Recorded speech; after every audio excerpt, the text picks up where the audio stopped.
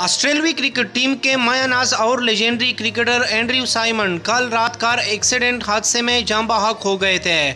साथ ही क्रिकेटर्स की जानब से गहरे गम और दुख का अफसोस का इजहार किया गया है।